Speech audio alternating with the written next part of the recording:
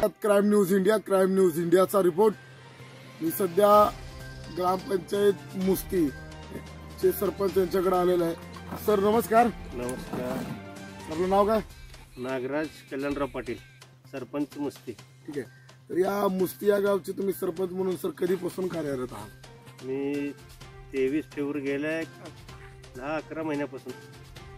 ठीक आहे. गेले दहा अकरा महिन्यापासून तुम्ही या मुस्ती गावचे सरपंच म्हणून कार्यरत आहात. या मुस्तीगावचा विकासाच्या दृष्टिकोनातून कशा प्रकारे काम केलं आहे?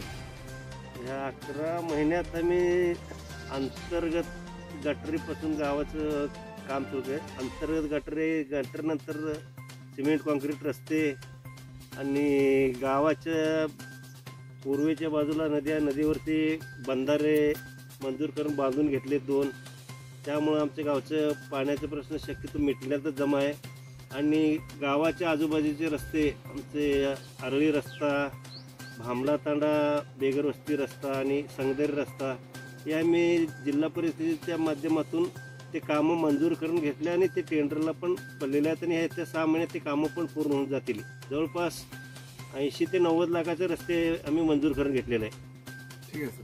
तर ऐंशी ते नव्वद लाख रुपयाचे ग्रामपंचायतीकडे तुम्ही सरपंच म्हणून झाल्यापासून रस्ते मंजूर करून घेतलेले आहेत.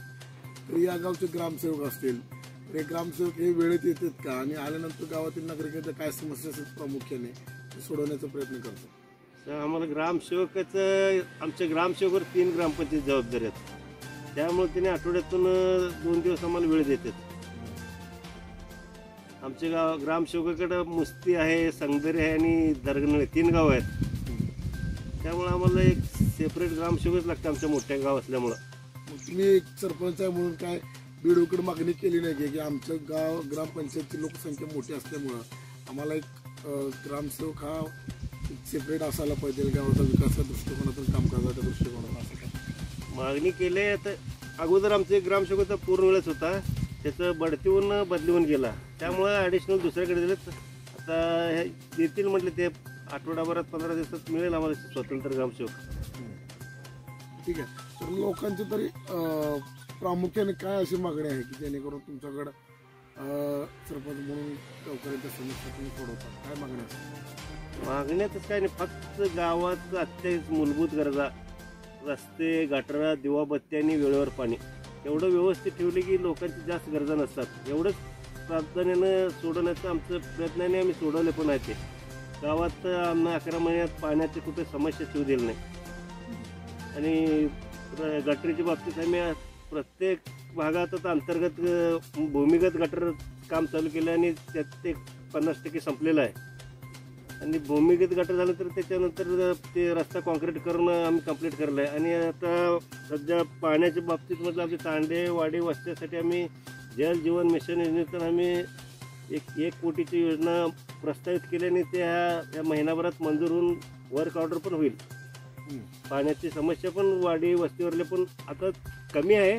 त्याच्यापेक्षा चांगलं त्यांच्या प्रत्येक घराने नळ पोचेल.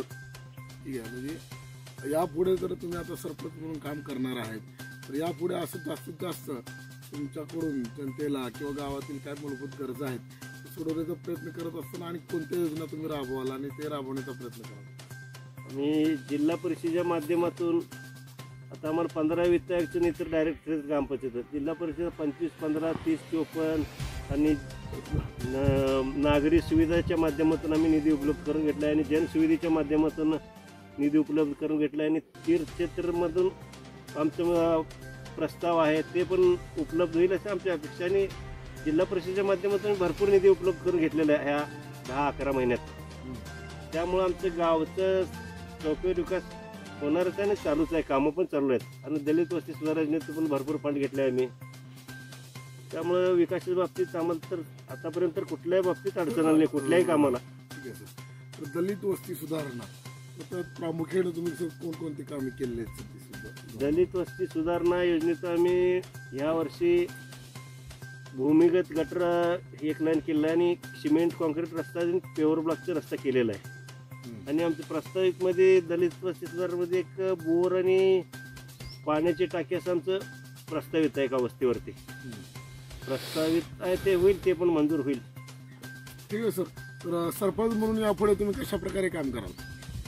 लोक जनतेची सेवा तर आम्ही करतोच आणि करावंच लागणार आहे. त्यामुळं जनतेला कुठल्याही अडचणी येऊ देणार नाही असे मी ग्वाही देतो.